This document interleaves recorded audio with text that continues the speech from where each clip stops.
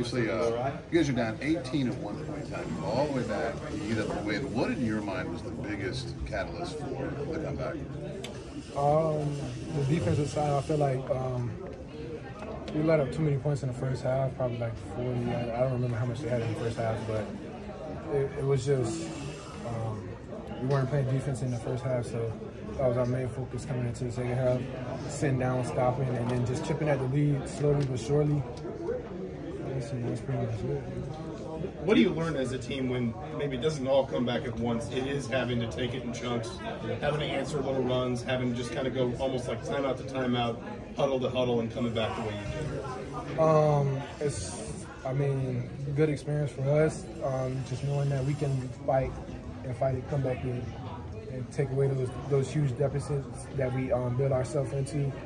Um, but I mean, we got to really um, focus and lock in so we don't um, be in those positions like, like we were tonight. You've talked before about how, you know, in some of the games you've lost, you've been disconnected and just kind of disjointed as a group. How are you able to stay connected tonight and, and come back? Um, it's, I mean, just trusting this, um, your teammates. And, I mean, we, we've been doing this since the summertime, so we've been building this bond and this, and this chemistry together um, throughout, even though we lost a couple rough ones where it felt like we weren't together. And we won a couple ones where we were together, but we're, we're, finally trying to get that mix together where we're all connected and we're, um, we're slowly but surely finding ways to um, win games. What was your thought on uh, uh, three? You see Galloway start to drive, the ball's going out. You're thinking what?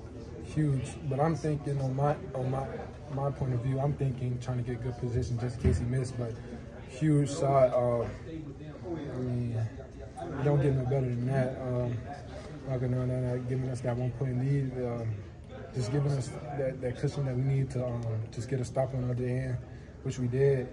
Um, Battle um, gave it up, and then you know, we got fouled at the end and um, knocking out them two plus free throws also. I mean, huge game by end, um, giving huge props for that.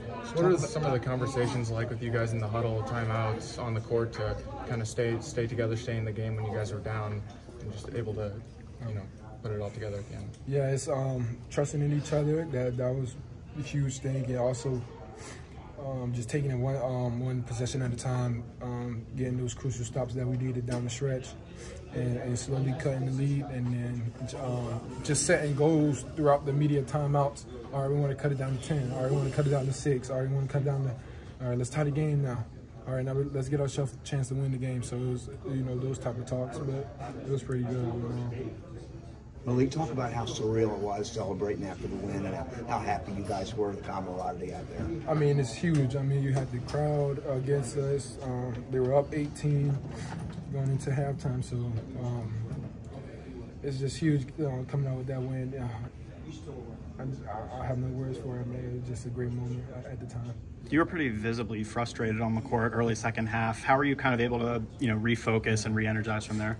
Um, uh, I just got I just got too passionate with the game. Um, that's some words I wasn't supposed to.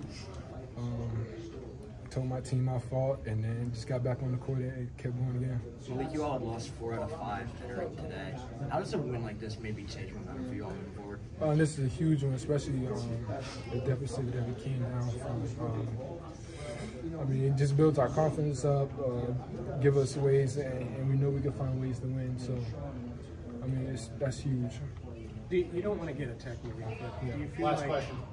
that that was a moment where the team kind of got emotional into the game a little bit? I don't, I don't think the team um, all together got emotional, but I felt like um, I was the reason. Um, I was definitely the reason for that tech. Uh, coming down said something I wasn't supposed to say. Um, ref heard it, tech me up for it, told my team I'm sorry, my fault won't happen again. We got back, calmed myself down, and it, it didn't happen again. Thanks, Mike.